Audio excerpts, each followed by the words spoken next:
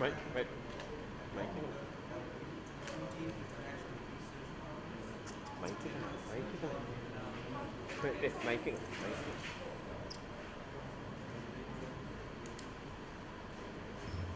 Okay. Good morning, ladies and gentlemen. On behalf of the fa- Faculty of Law, I warmly welcome all of you to the 14th International Research Conference of General Sir John Kotelawala Defence University. We feel honored to have President's Counsel K. Kanag-Isvaran, Dean, Faculty of Law, Mr. Mangala Vijayasinghe, paper presenters, and all the distinguished guests and participants here at this session based on the theme of novel trends emanating from the new normal and legal response by the corporate sector. Now, I would like to give a brief introduction to President's Counsel K. Kanag-Isvaran, the Honorable Chairperson of the current session. President's Counsel K. Kanag-Isvaran graduated with an LLB degree from the University of London. He was called to the bar at Lincoln's Inn in June 1964. He was called to the bar in Ceylon in July 1966 and became an advocate of the Supreme Court. President's Counsel Kanag-Isvaran was a member of the Law Commission of Sri Lanka from 1994 to 2009, Director of the Law and Society Trust, Institute for the Development of Commercial Law and Practice, Arbitration Center Colombo, and a chairman of a number of committees advising on new legislation. He had also been a member of the Council of the University of Colombo. In 2014, President's Counsel Kanag-Isvaran co-authored a book on company law. Now, I would like to cordially invite the Honorable Chairperson to begin the session. Good morning.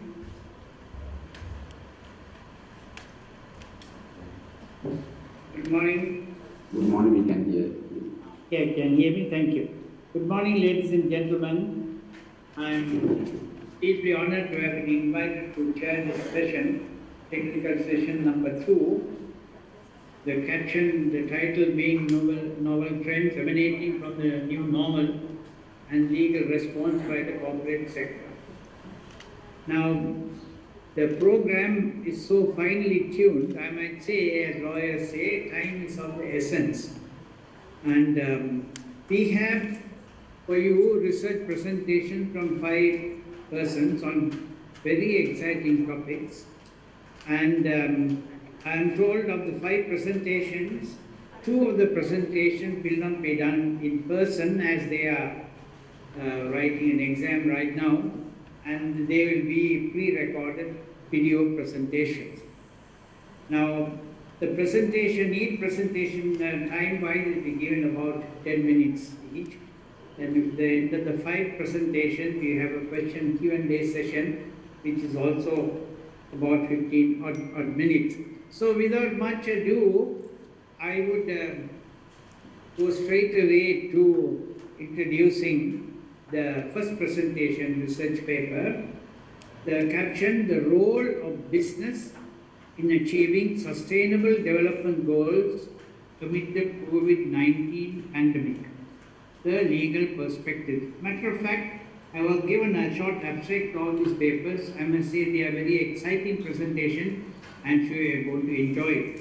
Now the first presentation is going to be done by Ms. Avani Sasanka Samarakoon. It will be co-authored by three, but since we have limited time with regard to introductions and things like that, I have chosen to introduce the speaker who is going to present this. Ms. Avani Sasanka Samarakoon, an LLB graduate of the, of the, of the uh, university and is currently studying in the final year at the Sri Lanka Law College and also reading for her Masters in Law in International Law at the Cardiff Metropolitan University. Her research interests are commercial law, criminal law, and labor law. So may I invite Ms. Samarakoon to make a presentation, please. Ms. Samarakoon. Good morning, Honorable Chair, ladies and gentlemen.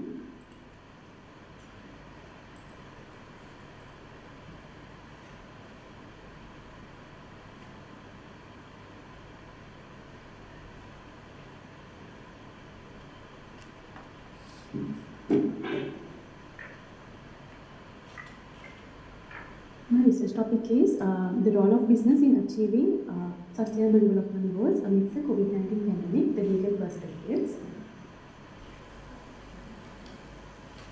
COVID-19 pandemic is uh, severely become a challenge to achieve sustainable development goals. The effect of uh, the COVID-19 pandemic, particularly in the social and financial circles in low and uh, middle income developing countries, including Sri Lanka, have been especially extreme because of uh, results like the interruption of supply chains, reduced uh, foreign remittance and FDI among others. The Sustainable Development Goals are the diagram to accomplish a superior and more sustainable future for all.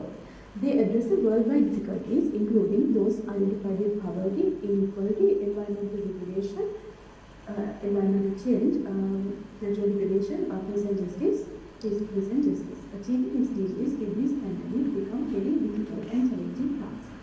Research problem is whether the prevailing laws are sufficient and practicable in regulating businesses to achieve the SDGs uh, in this pandemic. The objective of this research are to identify the impact of COVID-19 to sustainable development goals, to discuss the role of business civil society in achieving such goals, to analyze whether Sri Lankan laws are sufficient in steering businesses in playing their role and to propose the necessary amendments. Here, the methodology of this research is blanket methodology. This research would employ qualitative analysis of primary data and secondary data. Conquering all difficulties presented by uh, COVID-19 pandemic, assembling a superior world and accomplishing SDG targets can't be accomplished by any nation alone and needs common participation and organization. For Sri Lanka, supporting the worst affected sector includes area that contributed the lion offers to the economy and occupations like SMEs, sell-out uh, enterprises like apparel and tourism industry to bounce back this mentally yet the way of different nations. In such manner, common society, the scholarly world, the private sector, international financial intelligence and regional organizations can make an important commitment towards the accomplishment of the 2030 development agenda by activating activity, giving ability and monetary assets. On one hand, both self-employed people and the people who depend on daily wages are severely affected as they have lost their sources of income. On the other hand, it resulted in reduction of buying power of the consumers, causing a reduction in demand for goods and services. As a result, sales and profits have gone down by considerable margins of uh, majority of businesses, starting from large companies to small and medium enterprises. Furthermore, several businesses have imposed salary cuts and layoffs on their uh, employees, which has caused many people to lose their jobs. Despite the fact that majority of industries are affected by this pandemic, there is a huge responsibility on the shoulders of the business sector in overcoming this critical situation. In the context of sustainable development, there is no single legislation that covers all the areas of sustainability. Sri Lanka as a country has enacted different legislation at times focusing on different aspects of triple bottom line concept.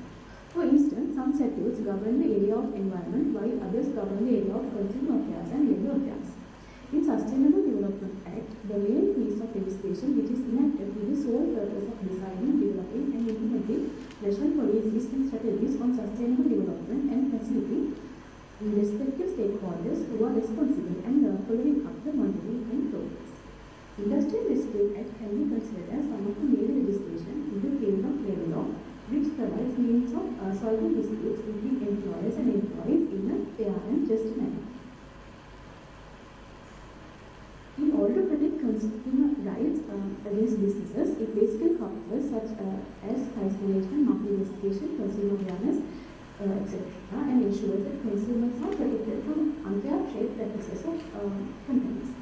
In sales of good Ordinance, uh, it consists uh, provisions regarding in-kind conditions and warranties which guarantees the quality of the uh, goods sold.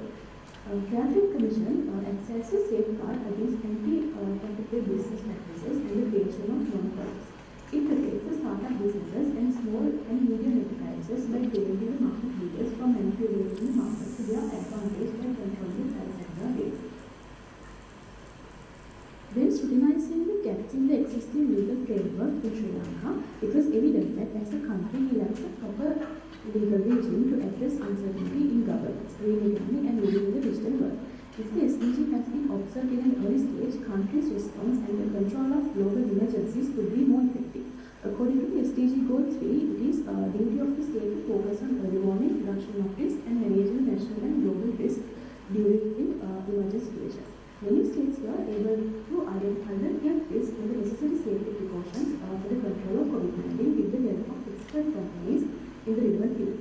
Sri Lanka is country like a comprehensive legal regime to get the uh, services in the private sector as well as the public sector companies, mainly in terms of technology and facilities in combating this uh, pandemic. Even though uh, Sri Lanka has relatively a strong legal framework in the context of sustainable development, it is not without its flaws. In our opinion, sustainable development goal 1, which is uh, eliminating uh, poverty, is not addressed adequately under the current legal framework. There are no proper laws uh, formulated to transfer the economic benefits that are generated uh, through businesses to society as the contribution of businesses in uh, rural and regional development is very little. It is true that uh, some companies like Ceylon Cold Stores PLC buy raw materials for their production such as uh, ginger, vanilla and jaggery from uh, local farmers as per their organization levels, but the law does not incorporate any uh, similar provisions in that regard. Furthermore, the lack of a comprehensive legal framework that regulates corporate social responsibility project is a major lacuna in the uh, existing legal system. At present, the concept of CSR has become nothing but a marketing tool which companies use to increase their sales. Due to the uh, fact that the current uh, legal system does not provide any provisions to regulate CSR projects or to measure their uh, social impact and the companies tend to carry out projects in the name of CSR just for the sake of promoting their products at their need.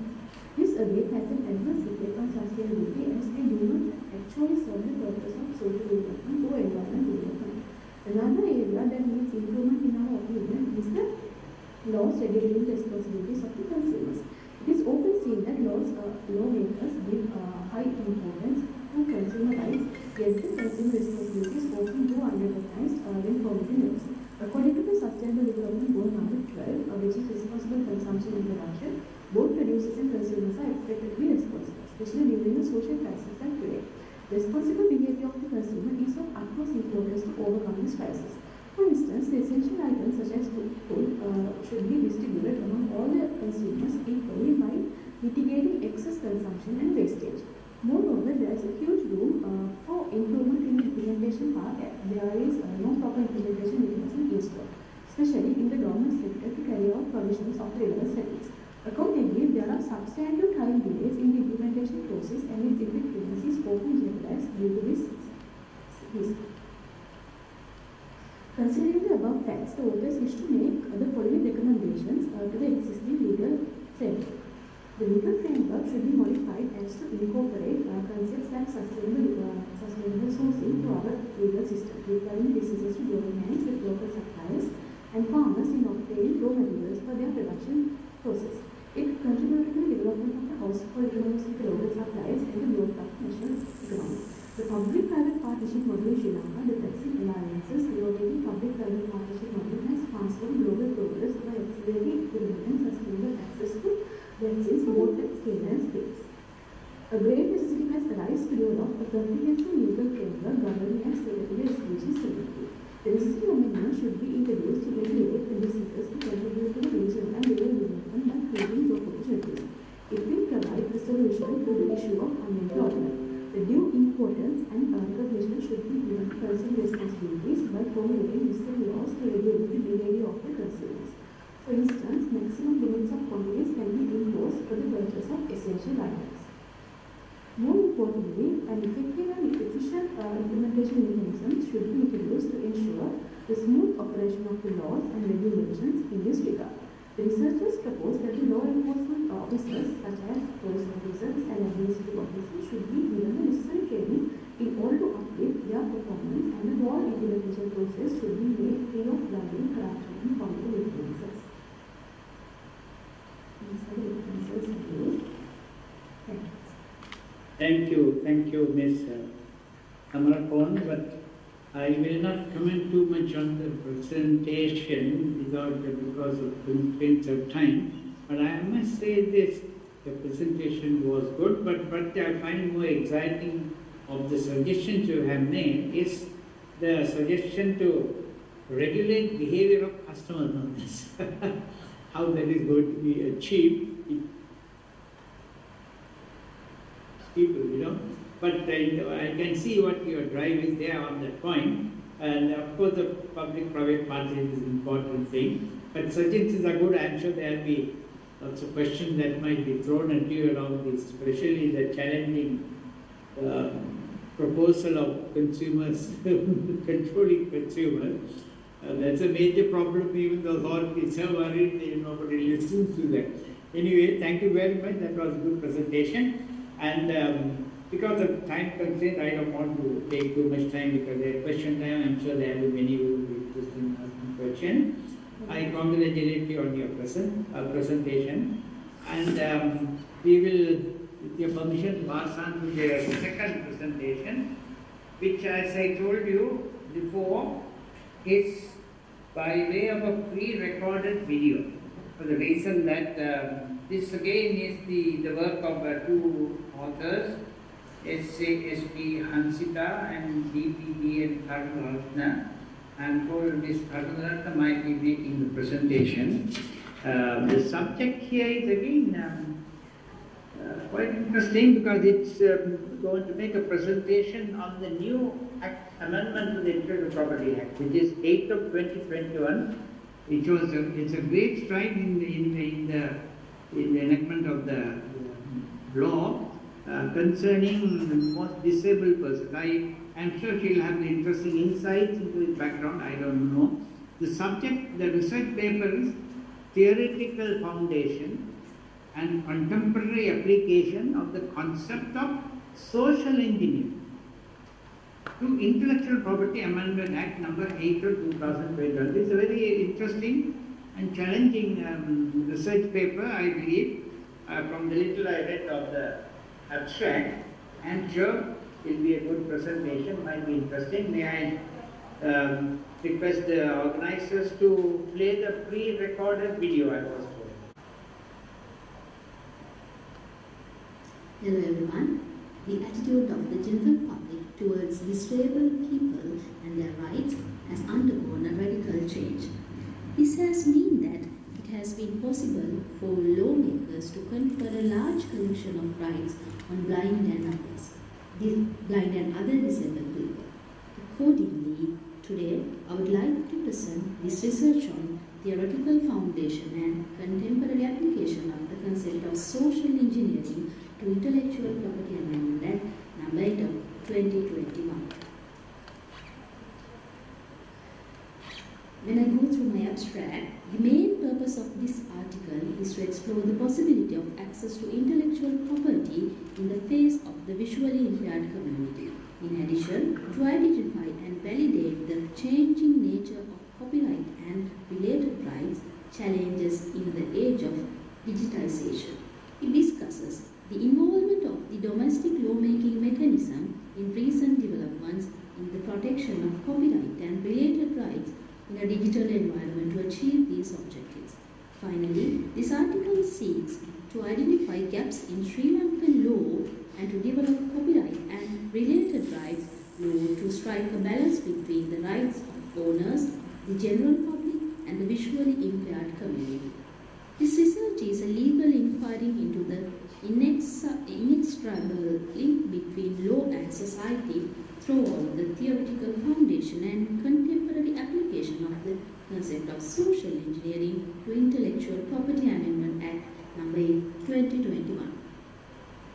In this in the methodology, this research is normative research which is primarily based on an extensive literature review as primary sources, international instruments, legislations, and case laws such as the WIPO Copyright Treaty of 1996, WIPO Performance and Phonograms Treaty, Intellectual Property Act number 36 of 2003 and Intellectual Property, Property Amendment Act number 8 of 2021 in Sri Lanka have been used in this research. Furthermore, journal articles, web resources and textbooks are referred to as secondary sources to enrich the research. When we talk about the intellectual property law, Article 27 of the Universal Declaration of Human Rights recognizes intellectual property rights as a fundamental right and other rights. Accordingly, every person has the right to enjoy the spiritual and physical benefits of scientific, literary, or artistic work created by his or her authorship. Furthermore, Article 1 of the first additional protocol to the European Convention on Human Rights and the Berne and Paris Recognized as the great pillars of intellectual property law recognizes intellectual property rights.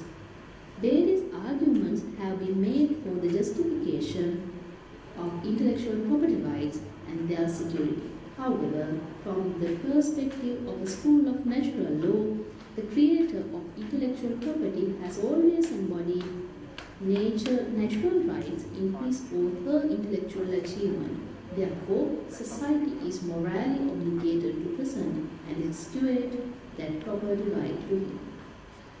When we talk about the copyright and publishers' right, copyright is one of the branches of intellectual property law. The primary purpose behind it is to benefit the author through the exclusive legal rights of the individual, which encourages the creation of a more economically aesthetic intellect. By the core definition, copyright is simply the legal protection granted to the owner of the original work. Section 6.1 of the Intellectual Property Act 2003 states that the concept protects not only original intellectual creations but also derivative works as artistic, academic, and scientific works under this Act.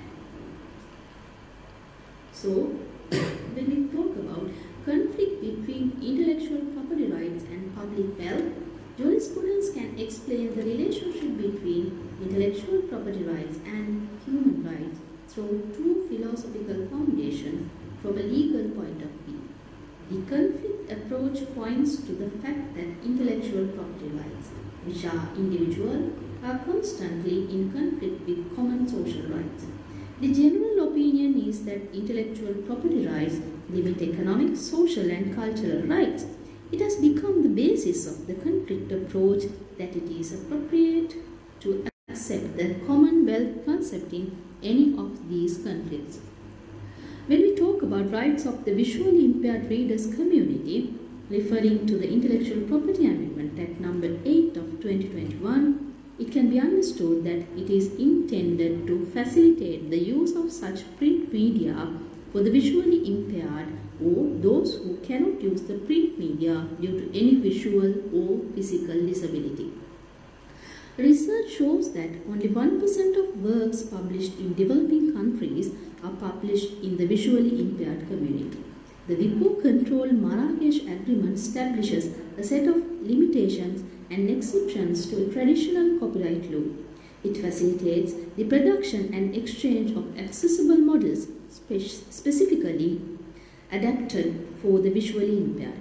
Accordingly, the Intellectual Property Amendment Act has been introduced to incorporate the Marrakesh Agreement ratified by Sri Lanka in 2016 into the country legal system. Intellectual Property Amendment Act number 8 of 21 and the rights of visually impaired readers. In this title, 2021 Amendment Act should balance the conflicting rights between intellectual property rights and the aspirations of society in general. Thus, for those who cannot use the print media due to visual impairment or physical disability, an audio recording of any book can be released for their use. Software is used for this purpose. Furthermore, the amendment states that such audio recordings can convenience the person with special needs mentioned above without any payment. So, finally, I would like to introduce the recommendations and future study requirements. So, the Intellectual Property Amendment Act number 8 of 2021 further protects the copyright and future expands the access of the entire readership to intellectual creations. At the same time, the new Amendment Act has taken it to another level where it is possible to focus on the right of the entire visually impaired community. New Amendment Act authorizes the protection of copyrights, copyright rights from third parties for commercial purposes. measures must be taken to minimize the violation of those rights in a digital environment. It may be proposed to establish a collective management system on copyright and related rights which is specifically intended for this purpose. Also, in the examining the legal framework of Sri Lanka, the remedies under Section 170 of the Intellectual Property Act are not sufficient to cover the rights violations that take place in a digital environment. Therefore, the redressal of those rights in digitization must be addressed.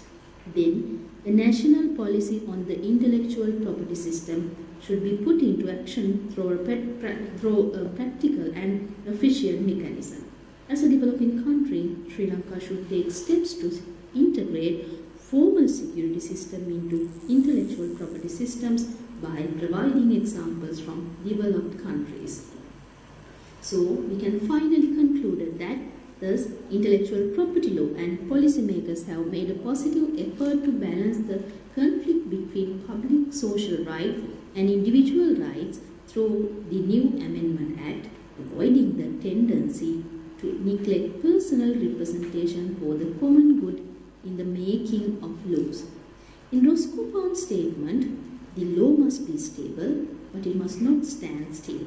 The law is a static phenomenon, but it is not static, but realistic, that law must change it from time to time. Therefore, we can summarize the above as balancing the conflicting rights and social rights, addressing the fundamental equality and justice, and positively manipulating the rights of the visually impaired. Especially, we would like to acknowledge Mrs. Niluka Damayanti and Mrs. B.A.R.R. Aryaratna, who provided the background knowledge on jurisprudence and intellectual property. Thank you. Thank you, Ms. Kularathna. The um, presentation was unfortunately marred by technical glitches. Um, the substance of the presentation is good. In fact, I was waiting to see who was going to speak. Now that it's known that it's Ms. Kularathna. Ms. Kularathna is a final year student at the Department of Legal Studies, Open University of Sri Lanka. I'm she's writing an exam there right now. And a medical officer in the Sri Lanka Ayurveda Medical Service. And a former visiting lecturer in Gampaha Wickramarachchi Ayurvedic Institute. She holds a BA-MS Honours in Ayurvedic Medicine and Surgery, University of Kelaniya. Her research areas are gynecology, cosmetology, medical tourism, human rights and jurisprudence. She did bring into her perspective the question of human rights. Knowledge is a matter of common wealth and should it be in some way monopolized by under the laws of copyright. Um, it's, a, it's an ancient debate um, over the ages this has been debated and they have struck a medium by saying, well, the man's copyright, the man, author of the copyright has to be given some incentive to be right and the fixation of his ideas.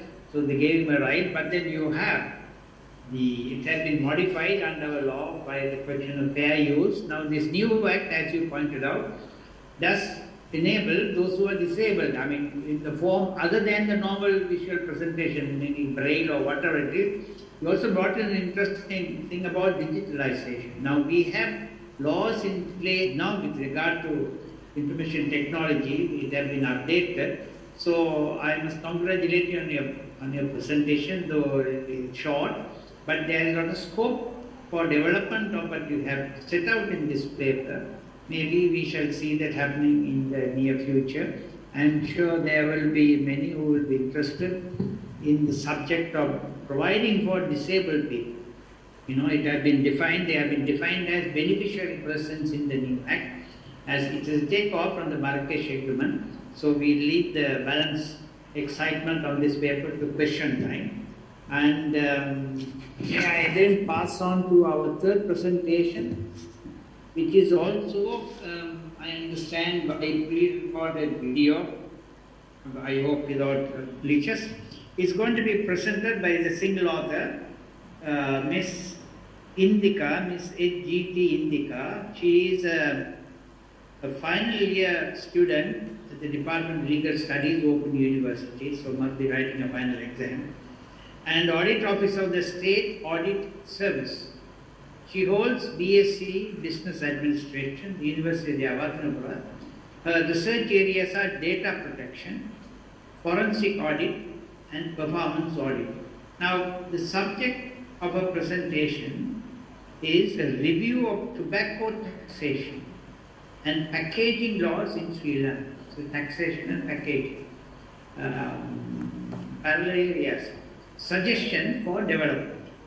Now, um, she hopes to identify certain lacunas in the laws concerning this aspect of her presentation, which I am sure she will expand in a video presentation. May I please invite the organizers to make that available to the audience. Thank you.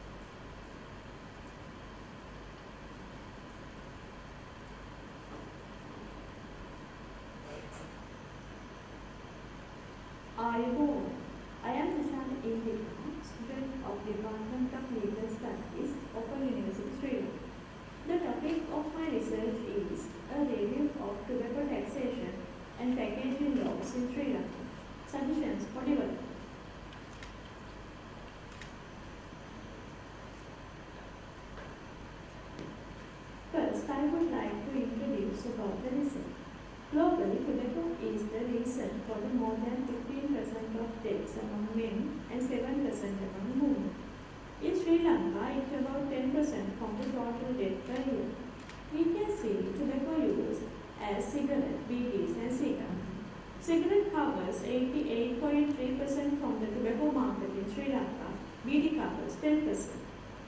Ceylon Tobacco Company PLC holds the monopoly of the cigarette manufacturing. Tobacco Tax Act 1999 and National Authority on Tobacco and Alcohol Act govern the tobacco industry. The objective of this research is to analyze the impact of existing tobacco taxation and packaging laws through tobacco industry factors.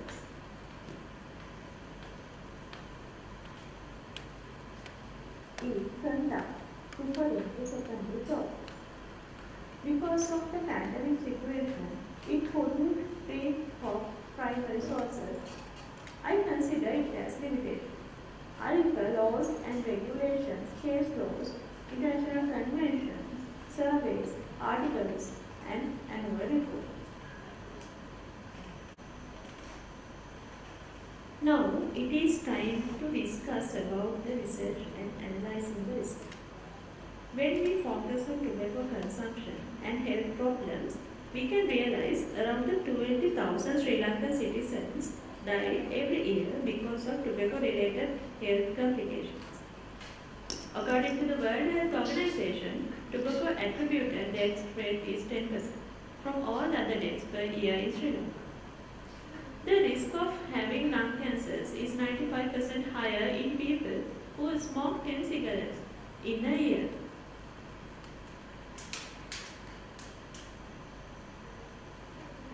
This table highlights tobacco consumer as age group wise. We can see people who are active in the labor market attributed to smoking.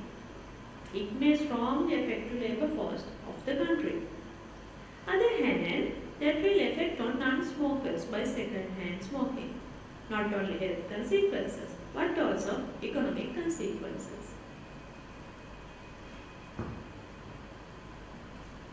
Ceylon Tobacco Company PLC or CTC operating as subsidiary of British American Tobacco which owned 84% shares of CTC.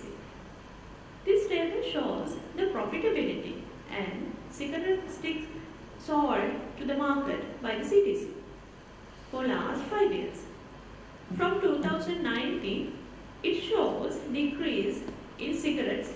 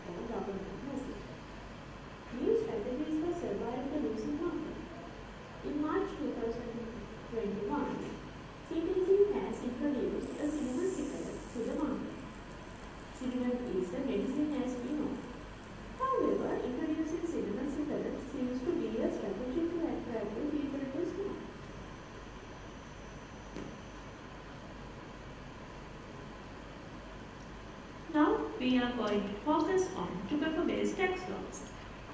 In Sri Lanka, tobacco has been taxed since 1953. In 1999, government passed Tobacco Tax Act and it has been amended in 2004. Sri Lanka levies lays a mixture of taxes like VAT, NBT, tobacco tax, not only those, income tax, custom duty,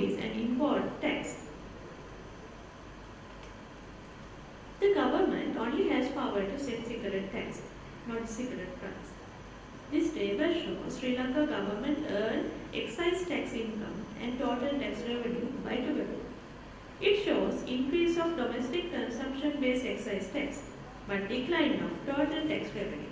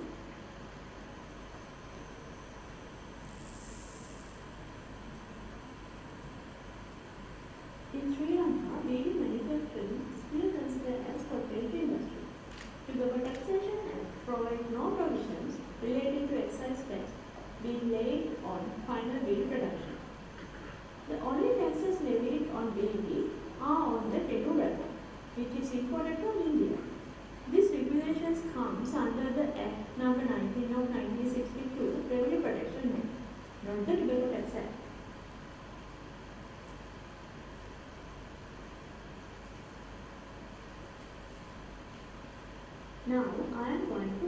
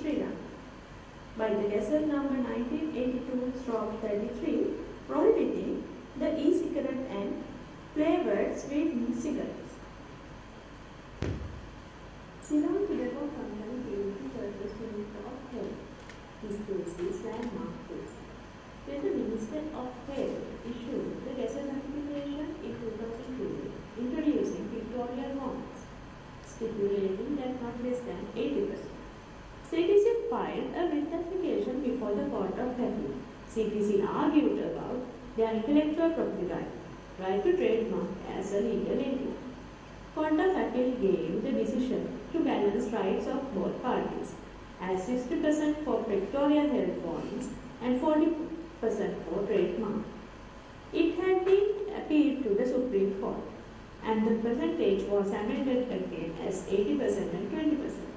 An amended act was passed in the March 2015.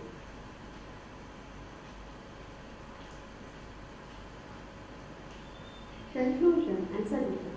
First, I would like to express my observation about government tax policy on tobacco. A regulated tax policy cannot be identified. As I explained before, beedi and other tobacco products still not governed by regulated tax laws. Tobacco companies are passing total tobacco tax on to customers. We can identify high price is one of the effective strategy, but it might influence to find alternatives which might be more dangerous. My suggestions are introducing regulated tobacco tax policy including BD and other tobacco products. Apply equal taxes to all tobacco products may prevent finding alternatives because prices are increased in all products in the same time. Government should establish more controls to prevent illicit cigarettes.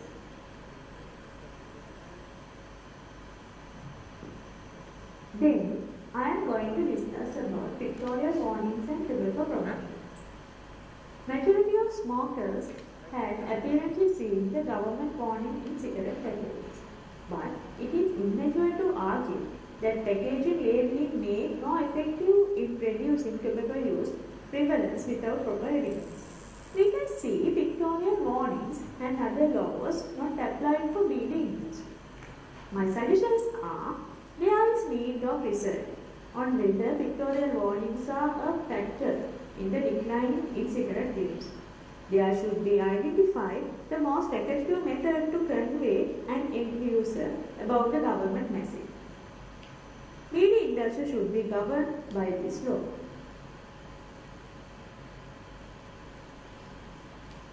Prevention is more important than estimating the loss from the event.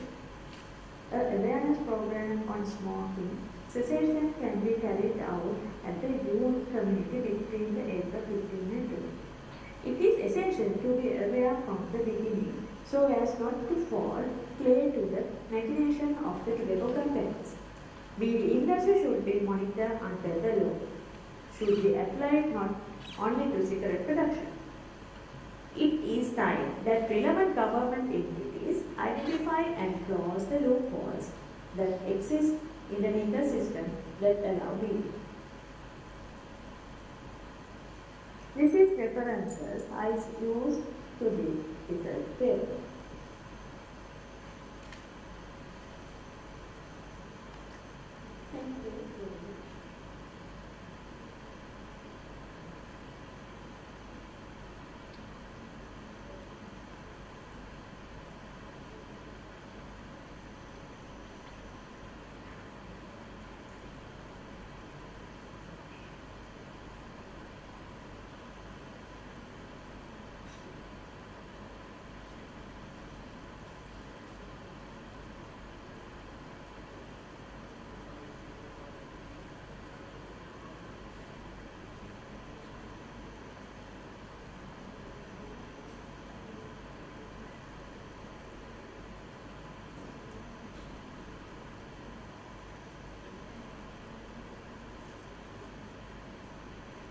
The, and the observations are welcome, but there is one intriguing intriguing fact that you have in your final conclusions, observations highlighted is the suggestion that um, if the higher the prices of the tobacco keep increasing, it might push the smokers into to find something alternative. I'll be interested to know the alternative you have in mind? Is it marijuana or something like that? I don't know. Or chewing ganja, whatever it is. But you know, those are, it's an interesting thought.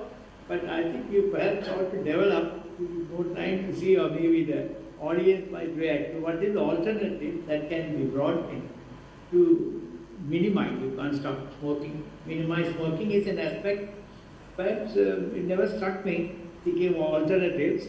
But anyway, thank you very much for your analysis of what is available, what could be done, your observations are going forward. Regulations, yes, but we are not talking about eradication of it altogether.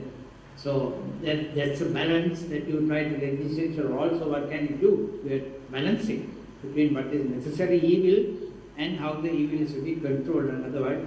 Anyway, thank you very much for that interesting presentation. I'm sorry the technical aspects of it, some, some parts of it I didn't quite understand or quite clear. Anyway, the paper is good. Thank you so much. It might evoke some questions, especially what the alternative you have in mind. Thank you. And we now come to the fourth paper, which is titled Do Companies, this is interesting one actually, Mm, do companies commit felonies? A legal analysis on corporate criminal liability. How can companies be guilty of murder? Or also of homicide, not the one to murder. The corporate liability, though it's an independent, it's an inanimate body, it's a fiction as though it's recognized as a person, is it capable of committing murder? That aspect has been not addressed in Sri Lanka by any legislation. The author, the presenter talks about it, very interesting. That is Miss A.P. Rathnayake. She is a lecturer, probationary at the Faculty of Law. Mm, This is the, not a video presentation, this is a in person. Sri uh, of, of the university.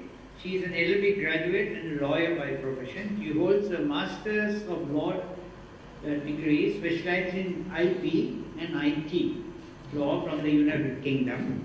IP is intellectual property and information technology. Further, the author has studied forensic medicine at the University of Aberdeen. And um, so let's hear her and how she is going to catch the corporate for murder.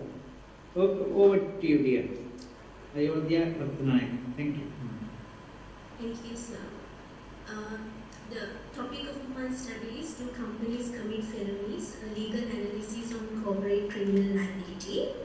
Uh, at the very inception, I would like to talk about the introduction of my study, where it focuses on two main aspects, namely the advantages of company operations to a country and also corporate social responsibility.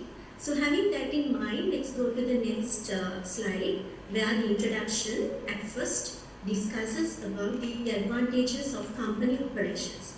A company normally important to a country which, fa- which has already uh, faced the aspects of economic development and already in the process of economic development because it somehow uh, supported in the increasement of the gross domestic production of the country and also it creates many employment opportunities and also by legally it is considered as a separate legal personality.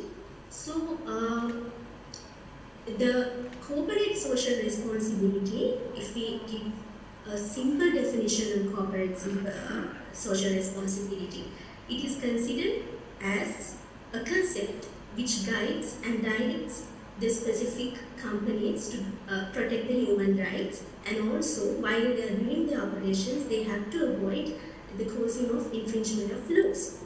So companies their main uh, their main expectation is profit motive and also we have to balance this etiquettes which have been engrossed in the society for a longer period of time and also has to concern on the protection of human rights, basically the right to life and right to existence of the human beings and also the animals. So there should be a balance between the profit motive and the social expectations.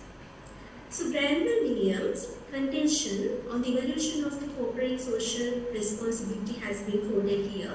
According to Glanville Williams, the corporate social responsibility is a judicially evolved concept and also he himself held that the companies owe a duty of care to protect the interests of the public. But this is something controversial to the perceptions which have been held and which have been enshrined by Kelsen and Savigny, who, held that imposition of liabilities on companies is problem- problematic, but that was totally turned out by the very perception of Glanville Williams, where he held the position that concept is judicially evolved and companies should protect the human, uh, protect the interests of the public.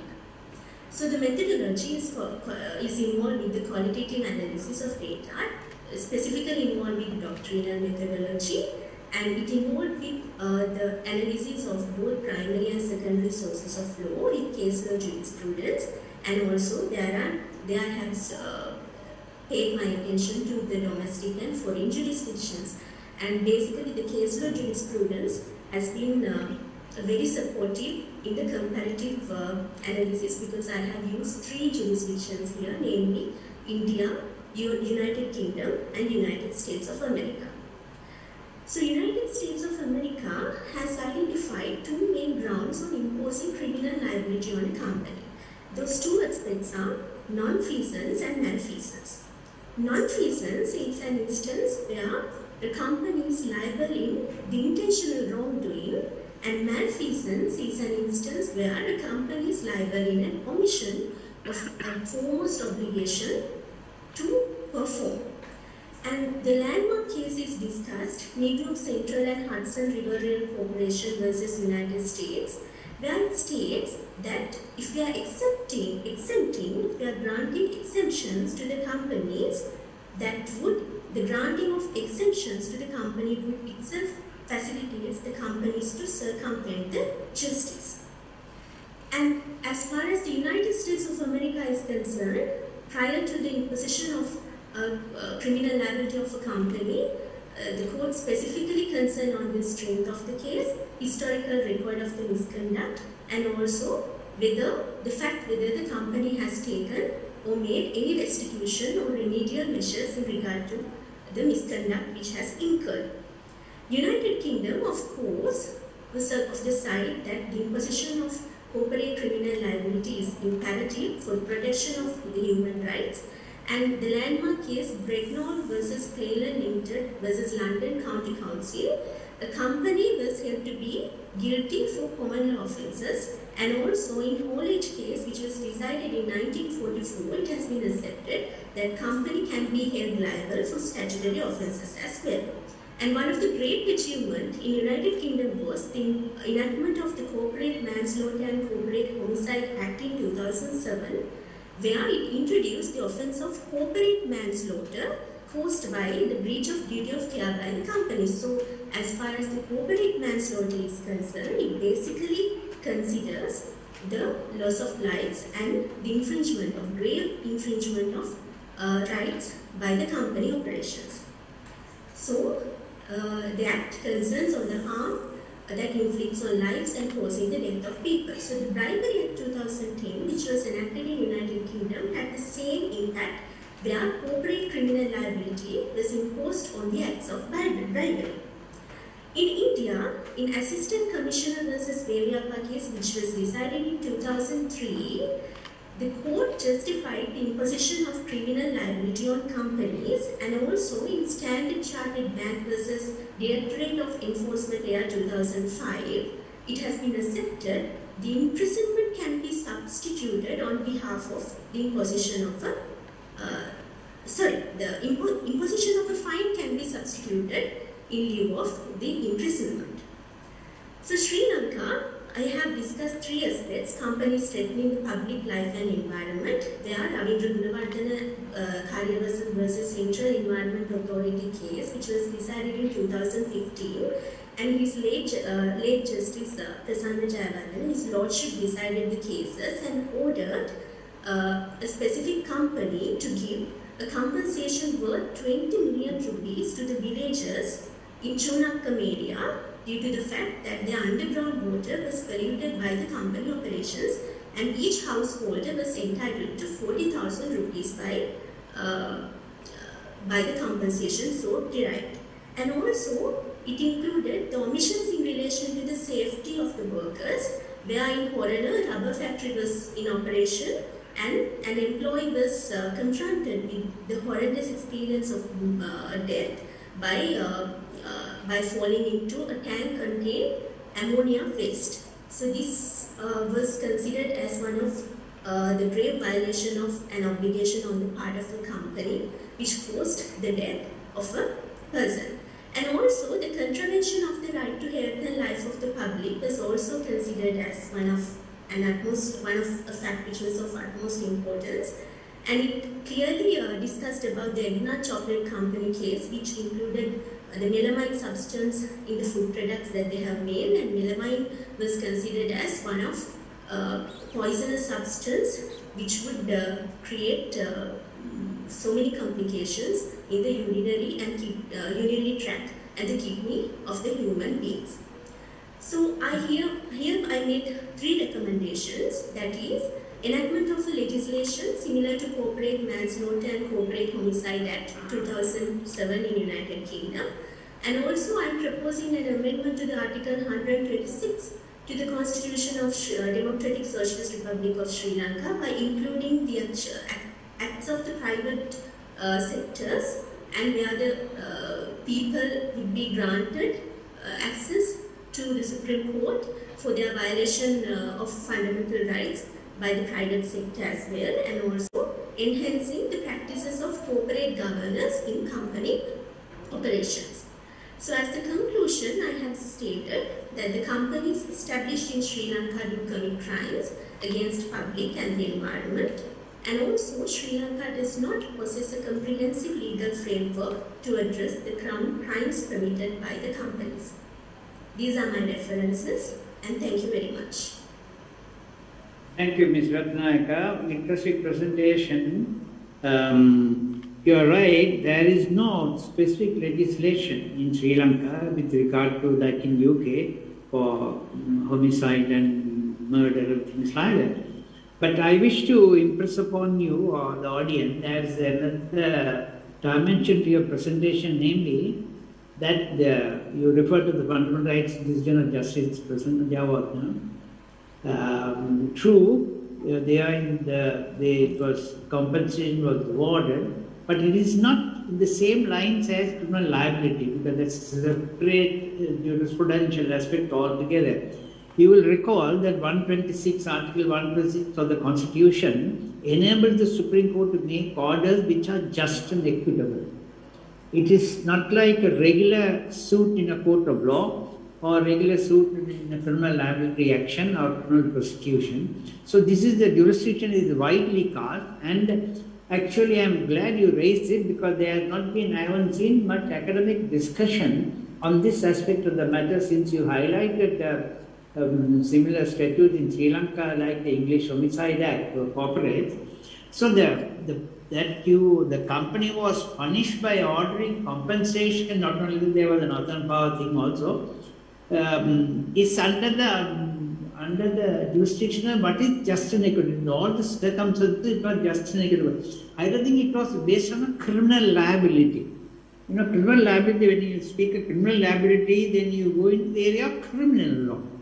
You know, that is the difference between the English statute and our jurisdiction. Of course, everybody welcomes this, but nobody has really jurisprudentially analyzed whether under cover of justifiable this can be done. It's because end of the day, you as you rightly pointed, I don't want to take too much time, the interesting end of the day, it's, a, it's an inanimate body, it has no mens rea, actus reus, it's all through human agencies, right? So are you punishing the people who did it or punishing the corporate act? That, that is why if you study the, maybe you know, not for this seminar, but then since you're interested in it, go and study the principles of liability that is enshrined in the English Act. You will understand what I am trying to say. It's a good area. Thank you very much for your presentation. And um, let's quickly move on. Or if you develop on this, I might be interested to help you. Yeah, anyway. Uh, uh, we go to the final paper, which is by Miss Kiriella. Uh, it's titled Challenges of Law Related to Indigenous Medical Research for Drug Innovation in Sri Lanka in the context of the new normal. That's an analysis. That is um, indigenous drug innovation. That's interesting because there you're probably thinking of the COVID thing. And of course, I think I saw in the newspapers today, even Ms. Ileana White has now come down with COVID, so he was propounding indigenous medication. It's interesting. A word about our um, presenter, Ms. Kiriella. Anuradhi Kiriella was a government servant at the Judicial Service Commission of Sri Lanka from 1997 to 2004. She was called to the bar in 2007 and working at works as an attorney at law in private practice. She is a live member of the Bar Association of Sri Lanka. She holds a diploma in forensic medicine granted by the Department of Forensic Medicine in the Faculty of Medicine of Peradeniya in 2018. She is studying Master of Laws at the Defense University, Kotelawala. So, uh, the objective of the study, she has said, is to find reasons for the controversial issues occurring when traditional cures were introduced to Sri Lanka. Let's hear what she has to say. Over to you, Miss Kiriella. Thank you.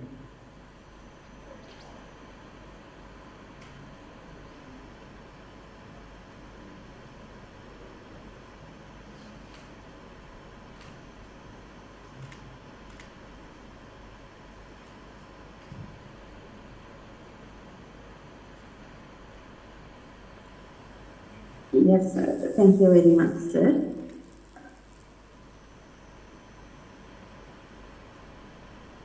Hello, am I audible? Yes, yes. Uh, and uh, the presenters uh, and the participants. Uh, now, um, I'm going to uh, present the findings of my research and challenges of law related to, in, uh, re- related to indigenous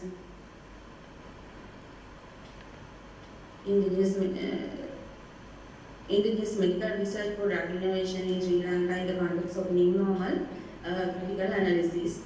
The uh, outline of my research consists of introduction, objectives, discussion, conclusion, and recommendations, uh, future avenues, and the references.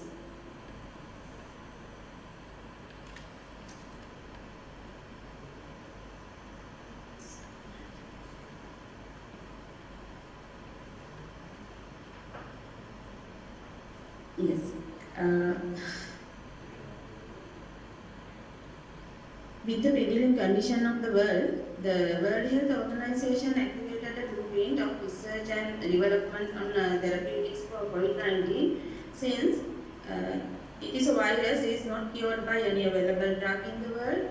Uh, WHO attention uh, drawn not only on the allopathic medicine but also indigenous medicine which is limited to the South African region. I formulated a research problem. Uh, what are the weaknesses or loopholes of law, law on innovation of indigenous or traditional medicine in Sri Lanka after I show the video that contains this picture.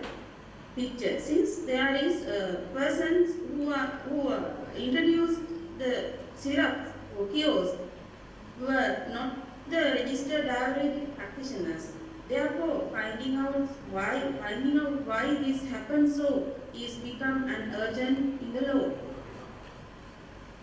I used uh, systematic literature review to identify the relevant areas uh, of law and analysis to answer the research questions that what are the relevant laws and uh, defects of the laws, uh, how to adapt all indigenous practitioners to one formula regarding regarding the of traditional medicine and what are the uh, authorized, authorized bodies have responsible for the drug innovation of indigenous or traditional medicine in Sri Lanka. When I started to conduct my research, I identified that Ayurvedic number 31 of 1961 as a final legislation and gazette notification issued under section 18 uh, re- regulation and regulation issues issued under section 82 of the Ayurveda Act. In addition to that, I taken into consideration the National Medicine Regulatory Authority Act number 5 of 2015 and extraordinary gazette, gazette issued under section 152 and uh, Intellectual Property Act number 36 of 2003, State Industrial Corporation Act number 49 of 1957 and National Research Council of Sri Lanka Act number 11 of 2016.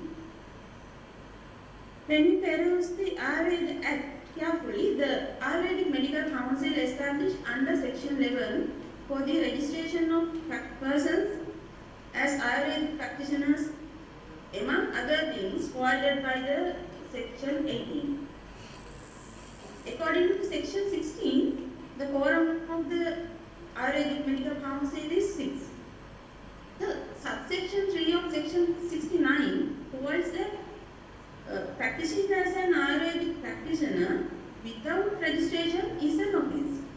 However, according to section 11.1F1, the Ayurvedic Medical Council shall contain from not more than three persons who are not registered Ayurvedic practitioners appointed by the minister. It is an exclusive means it is impossible to both these sections to exist or function together. In addition to that, Ayurvedic Medical Council may refuse the registrations of practitioners on the ground that he has been convicted by competent court of competent, competent court of any offence which shows him to be unfit to be such practitioner. The words of any offence in this section subjected to phrase which shows him to be unfit to be such practitioner. The act does not mention what are the offences unfit to be such practitioner. Therefore, it is totally depend on the discussion of the members of the Ayurvedic Medical Council. Here my argument is that the provisions regarding the registration of traditional medical practitioners especially should be specific and strong than this to avoid the uh, uh, circumstances arose which we are witness to the last few months. And the Ayurvedic Drug Corporation established under State Industrial Corporation Act, but there is no any provisions regard this issue. The next law is uh, National Medicine Regulatory Authority Act, which is based on the establishment of National Medicine Regulatory Authority Sri Lanka.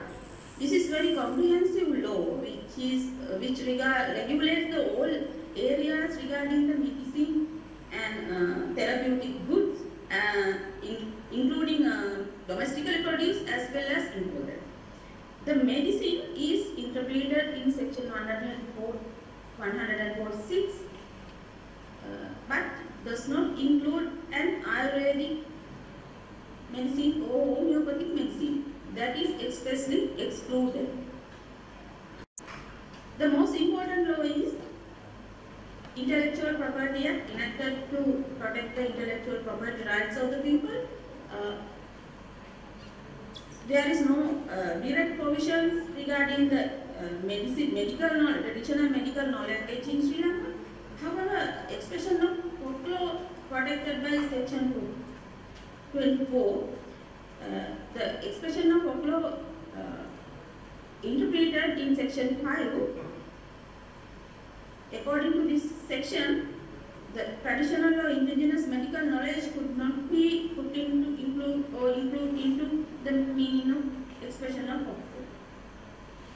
The next one is National Research Council of Sri Lanka.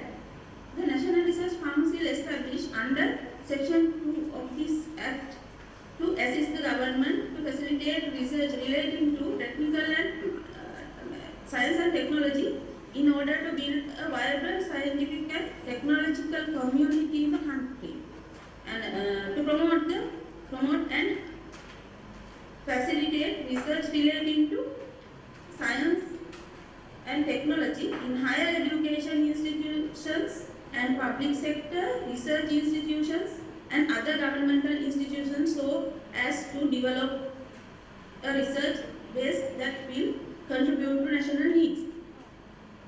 At Finwise, researchers in public sector who are willing to do the research in science and technology. Therefore, no many for the traditional medical practitioners to conduct their research even under this act. My recommendations are to preserve tradition, traditional medicine. Uh, changing or making laws uh, needs to be executed accordingly. The practitioners of traditional medicine must be adapted to the proper legal framework while protecting their uh, intellectual property rights. For that purpose, the Ayurveda Act number 31 of 1961, which is older more than 50 years, must be amended in line with the present requirement and as much as possible for the future with the effect of effect to the intellectual property act.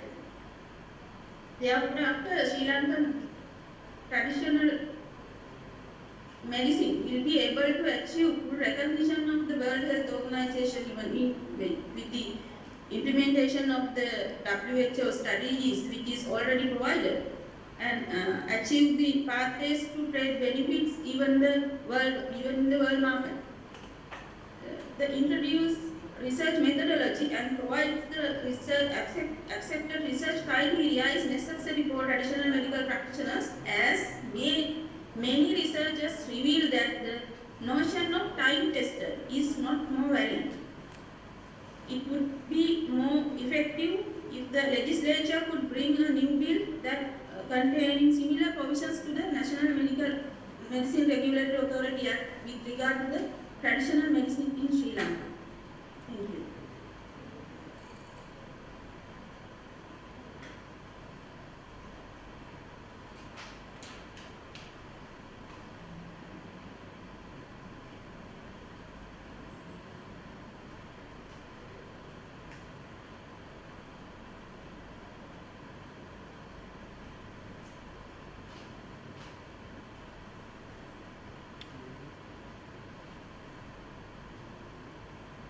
Knowledge. So innovation, um, using traditional knowledge, uh, the, the government's innovation in the IT area which are problematical. But what was important is, I think what requires immediate attention is your complaint about the word definition, uh, the offense, which is uh, so so fluid that uh, you can have uh, problems over that. I don't know how in practice it has worked. Uh, anyway, that's an area that perhaps needs immediate attention to protect uh, disqualification of the practitioner. Anyway, thank you very much for your presentation. Um, and uh, now we are, I know we are run out of, run out of time. Now, thank you very much for the presentation. Now we can move on to question and answer session. Mm, um, so, um, do, do we have um, questions arising from any of the presentation from the audio audience, please?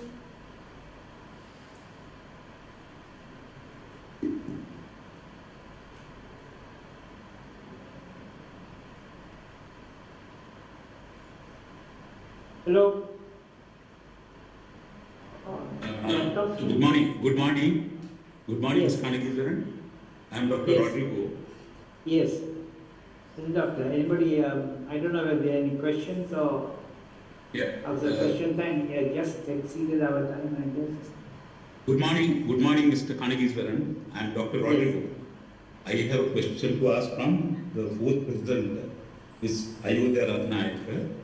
Yes. Uh, Her paper is very interesting. Uh, Do companies com- uh, commit felony, legal analysis on corporate criminal act?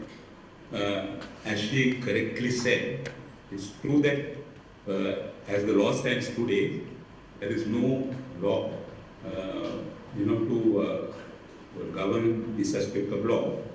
But we must say that the judges can exert influence on the legislators to make law as they have done in many other fields. Now, if you take, for example, now I think Justice uh, Prasanna Jayawardena had done that within the powers he had under Article 126 by awarding damages in a fundamental rights case. I think uh, that could have influenced the legislators. I, I don't know how they behave. Uh, similarly, you know, in other fields also, like you know, if you take uh, exemption clauses in the law of contract, you know, Justice uh, uh, Denning, as he was, and in Carsen's limited case, you know, he tried to, uh, you know, invent a rule called the fundamental, the fundamental breach of duty, which uh, the when he, you know, came up before the House of Lords in Securicor uh, company case, right?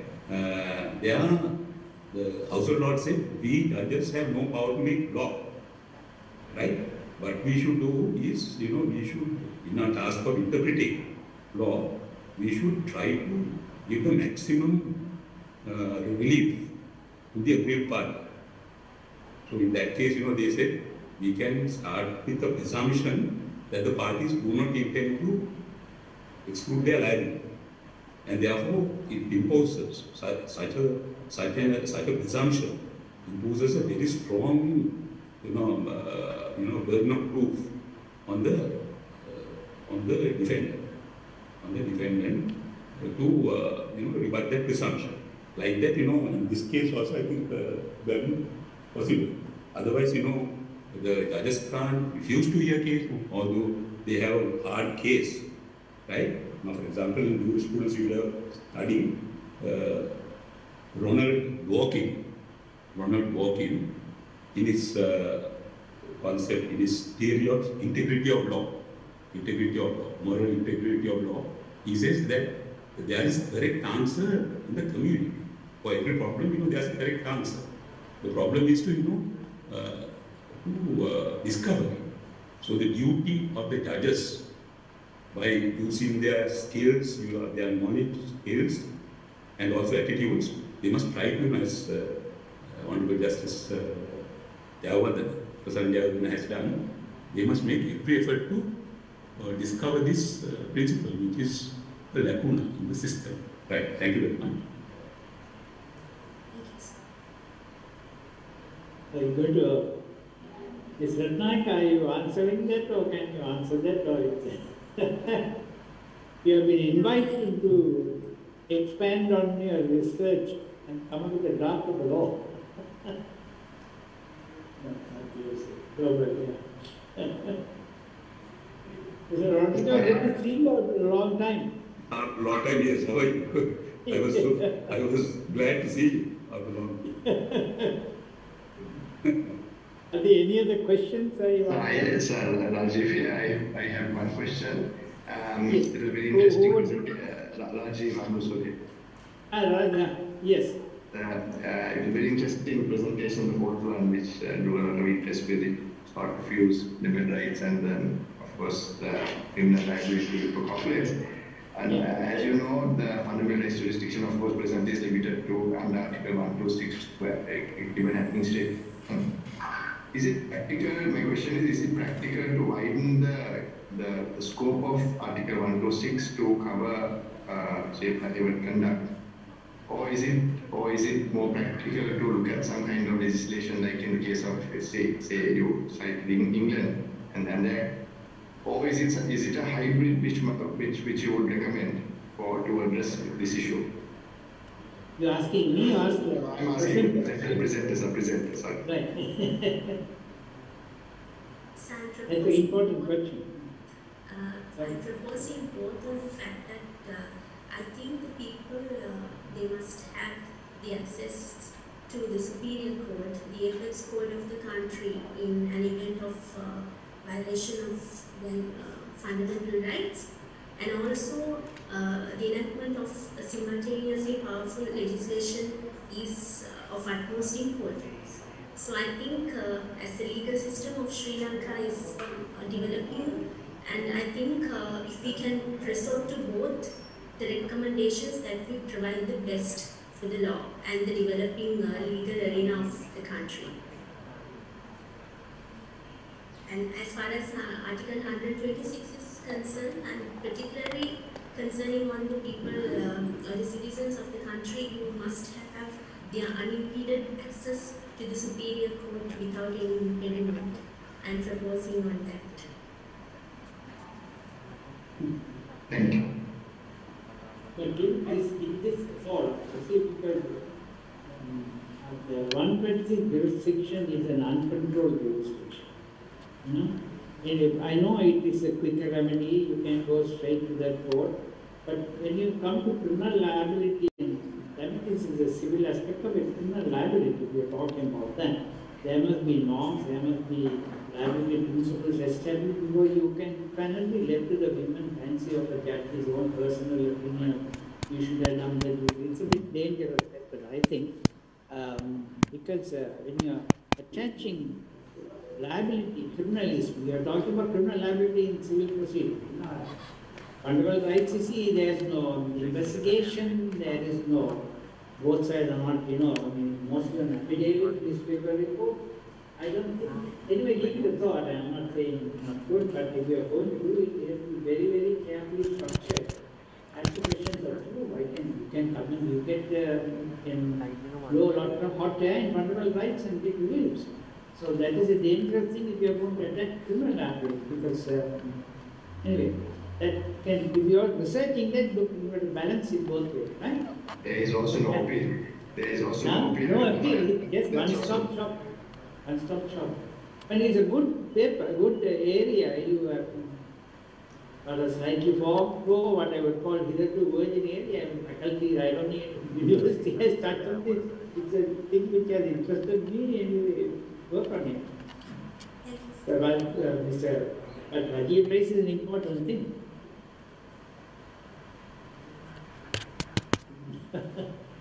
Sorry, um, there must be other questions, I'm sure.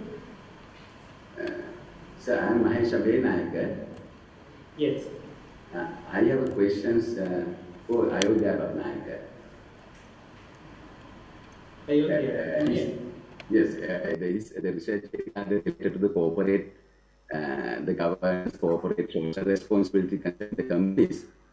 I would add that uh, your research, uh, you, you mentioned your research is based on uh, qualitative research approach. Why you are not selected uh, the mixed method? Because there are the many uh, the companies in Sri Lanka, public listed, private companies.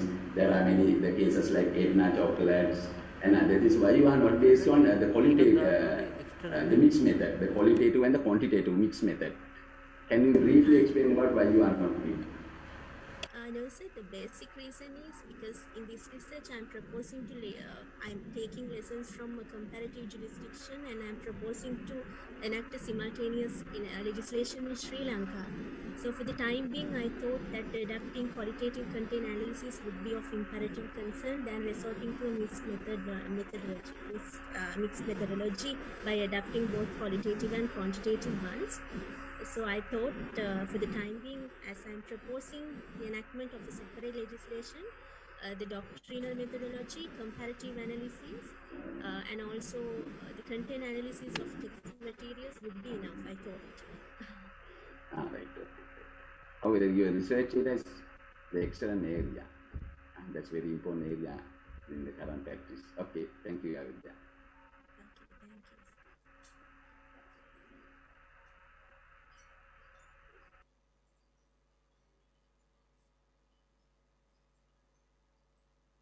I'm sure there must be some questions on other papers as well. How about the tobacco paper, alternative, alternative to smoking? Rajiv, you have no observations on that? I think interesting paper that also was. I think the, the interesting point was that the the, the stick sales have reduced. Uh, the revenue has not, and obviously the, the tobacco companies have found a way to uh, keep the revenue streams coming. And of course, I think, as I think you mentioned, that it's it's a toss up because even the government is on one hand, it's an important revenue source. So maybe we can put the question to the presenter as to how now over the years the governments have been reliant on excise duties on tobacco and alcohol. And that is a vicious cycle because obviously that is important for, I mean, especially given our situation now. Uh, how does one get away from this, this vicious cycle of, uh, on one hand, the governments being extremely dependent on this revenue, and of course, then there's a social cost also. So how do you break this cycle and and and obviously through taxation and other measures and, and move towards different different uh, realm, so, so to speak. I think the presenter is uh, made a video. She is writing an exam. I am told. I don't know whether okay, she so, so physically yes, yes, I present. think we were, we were informed. So, but that's in, interesting. I, I don't know. That's something yeah, I which know it's an interesting area. we'll never never get over. Yes, I, I think she's. Uh.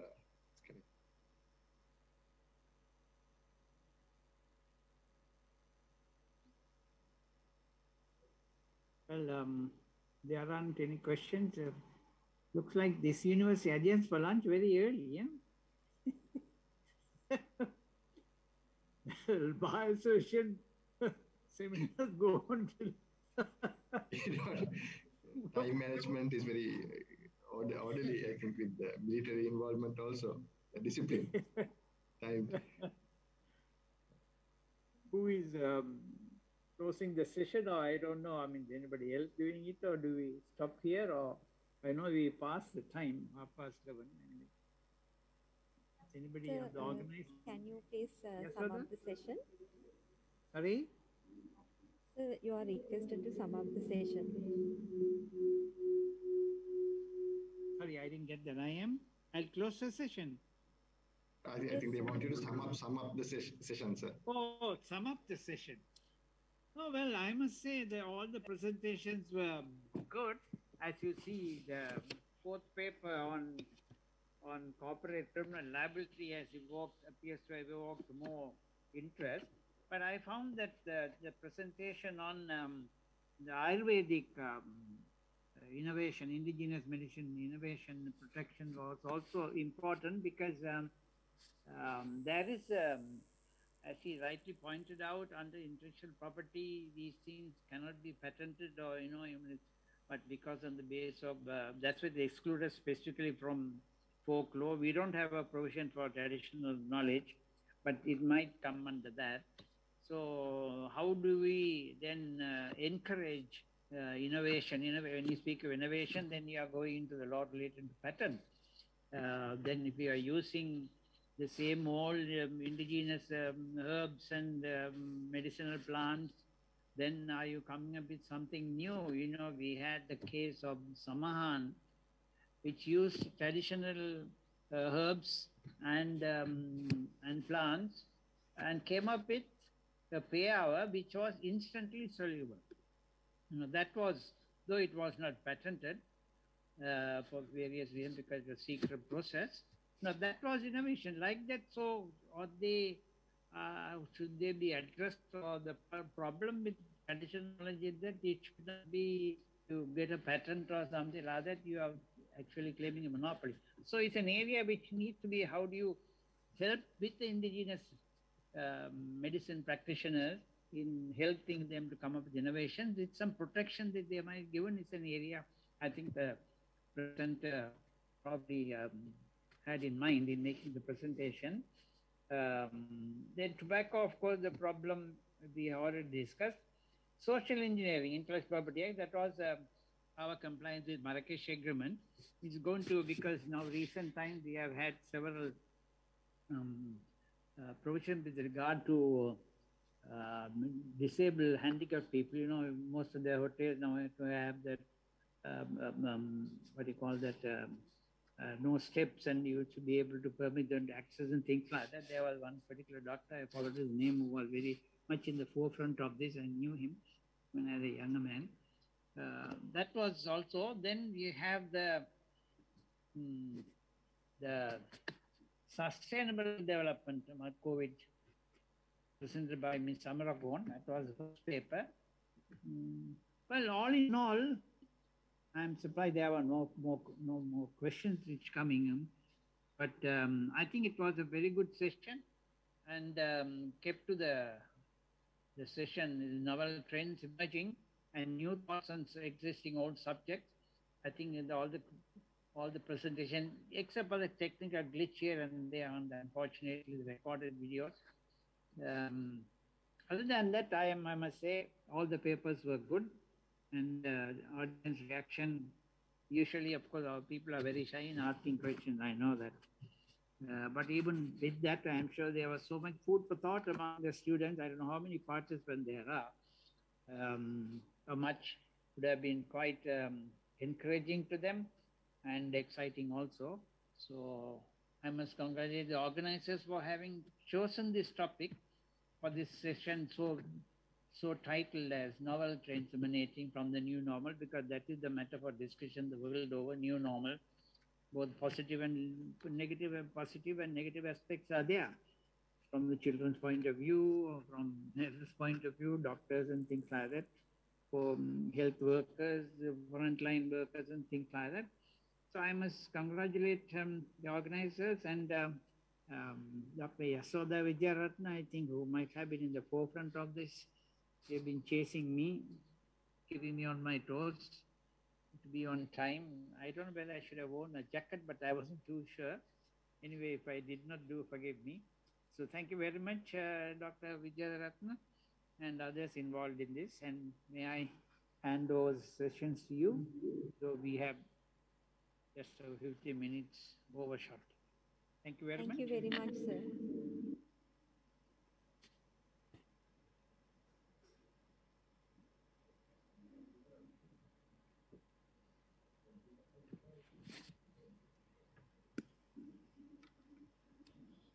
So thank you. Uh, I thank everyone for the invaluable contribution.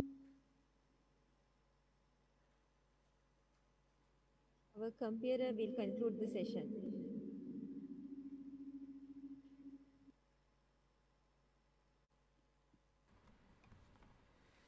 Thank you very much, sir. It has indeed been a thought provoking, enriching session.